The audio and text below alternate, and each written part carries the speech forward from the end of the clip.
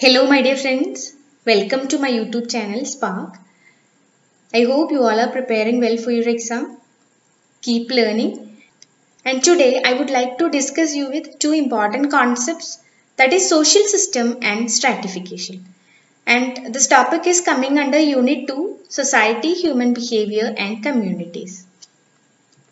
And today we are going to discuss about social system and stratification and major social systems like family and religion and the concept social stratification with its major approaches like Marxist, functionalist and Weberian. And now we can move to the session. We can start with the concept social system. I hope you all are familiar with this concept. The concept of social system embodies one of the most important sociological principle that the whole is more than the sum of its parts. The basic thing is the whole is more than the sum of its parts. And simply we can say that a social system is an orderly and a systematic arrangement of social interactions. So we can say that social system is an orderly and systematic arrangements of social interactions.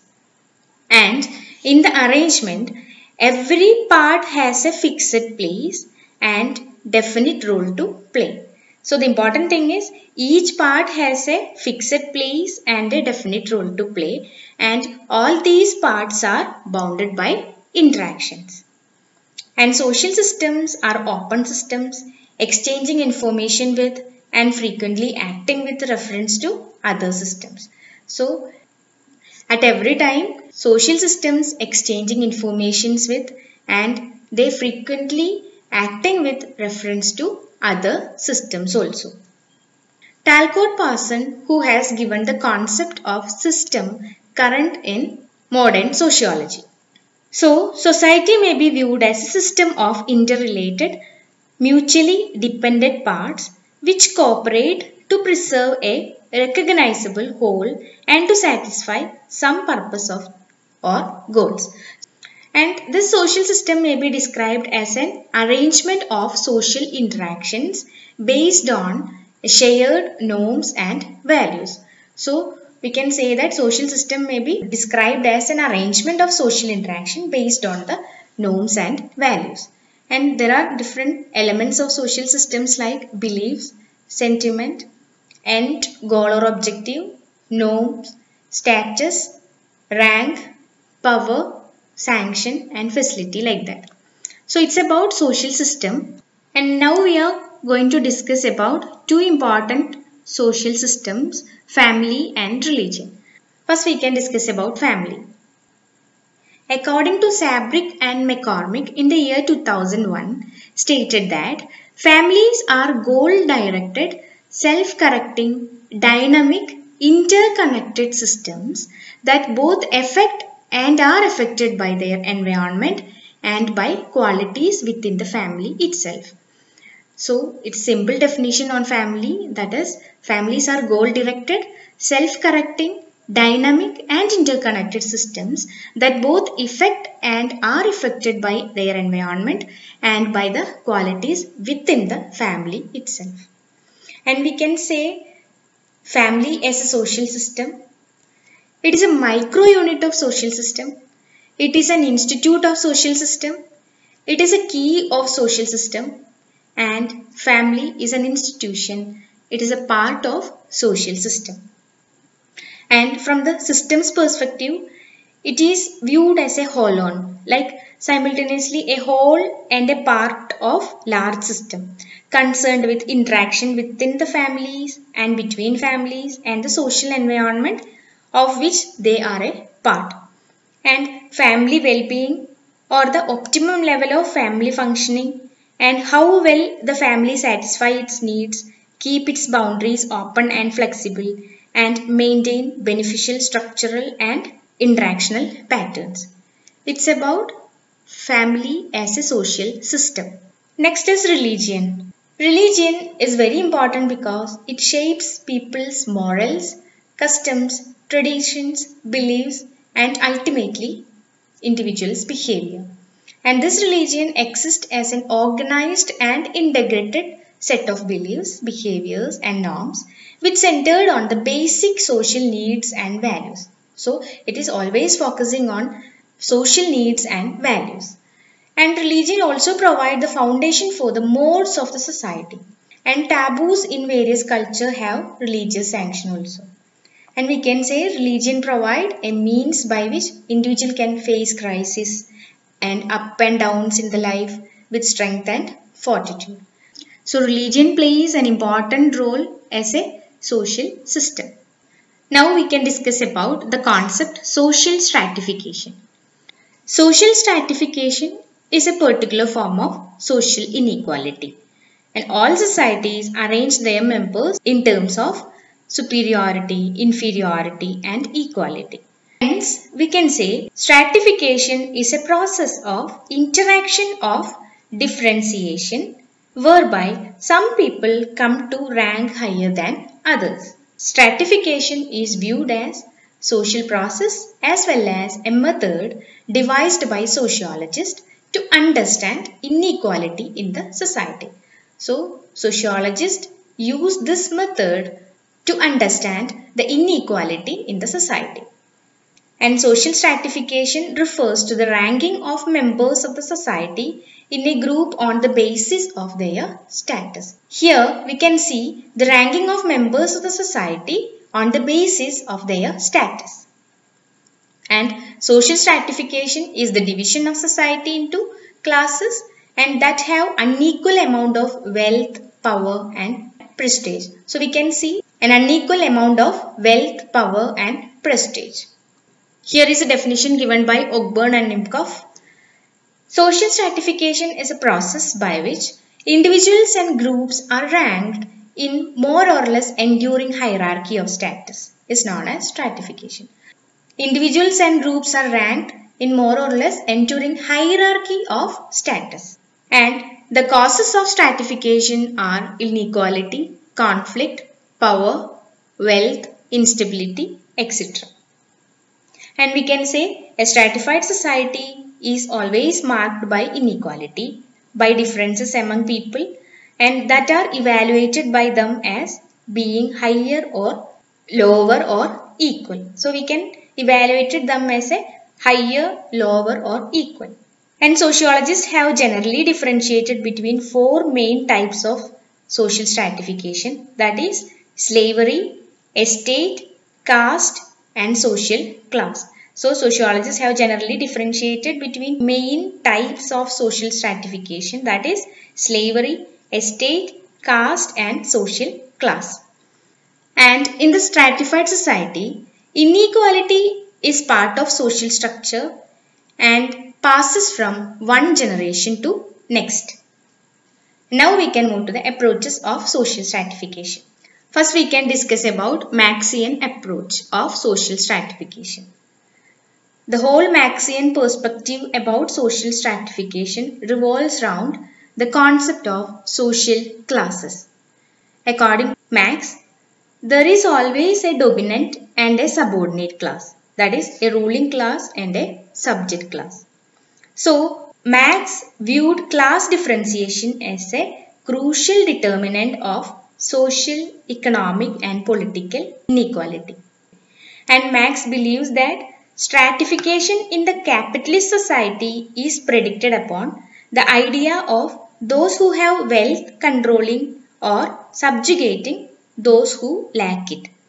And Marx differentiated between class consciousness and false consciousness. For Marx, false consciousness is a belief that upper class is superior and has the right to rule. And Marx believes that this change will under a socialist system and where the means of production will be owned in a public settings and not a privatized one. And in making this public, stratification will presumably disappear. So it's about Marxian perspective. Next we can discuss about functionalist approach of social stratification. With the issue of social stratification or social inequality, the functionalist view argues that social inequality is necessary because it fulfills vital social system needs. So, as per the socialist, they are believe that social inequality is necessary because those inequalities fulfills vital system needs. And one such functionalist view of social inequality which was developed by Kingsley Davis and Wilbert Moore and that has come to known as Davis-Moore thesis. In this, they claim that no society is unstratified. So, inequality is universal. And the universal nature of stratification must mean that inequality is not only unavoidable but indeed necessary to smooth working of society. So they believe that inequality is not unavoidable but indeed necessary to smooth working of society.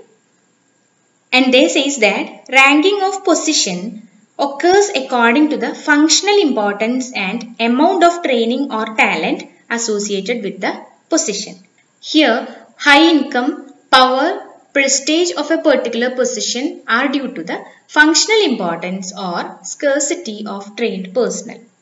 So, stratification or unequal distribution of rewards ensure that the most talented and trained individuals will fulfill the social roles of great importance. For example, according to this theory, doctors should be rewarded highly because expensive training is required to do their job and it is logical that society must offer greater rewards like income, vacations, promotions to motivate the most qualified people to fill the most important positions. And therefore, social inequality among different strata in the amount of scarce and desired goods, the amount of prestige and esteem will they receive is both positively functional and inevitable in the society.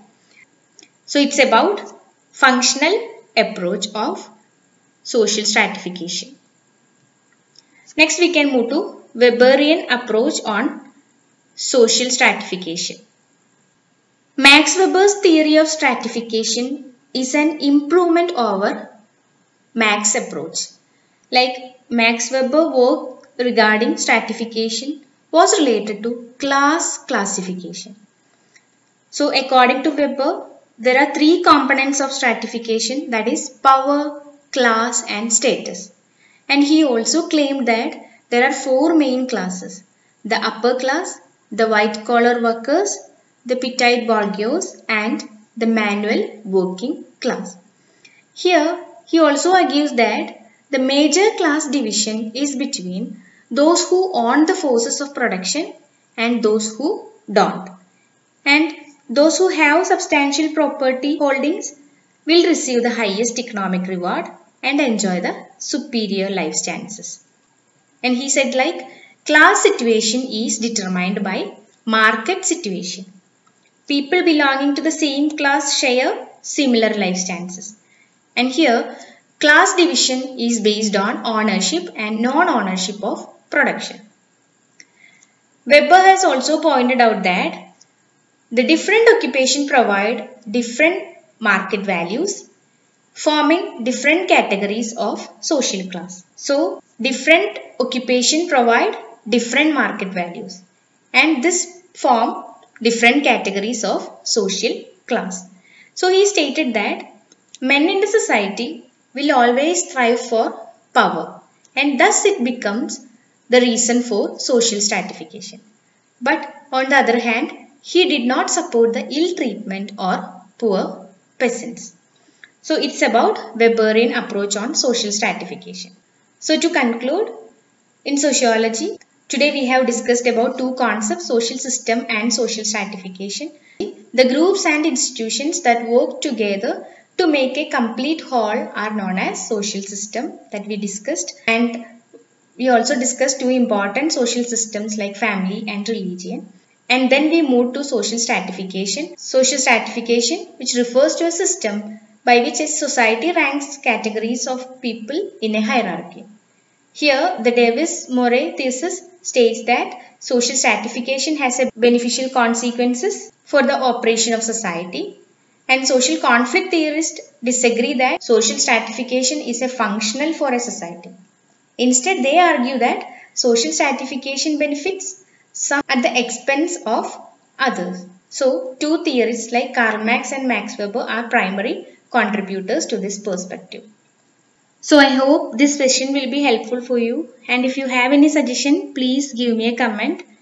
And for my next video I would like to discuss you with the topic human behavior which is coming under unit 2 and in which I will discuss about normal and abnormal behavior, determinants and lifespan perspectives of human development that is developmental tasks and hazards of different life stages like prenatal, infancy, babyhood, childhood, puberty, adolescence and adulthood. So prepare well for your exam. Keep learning. See you on next video. Bye.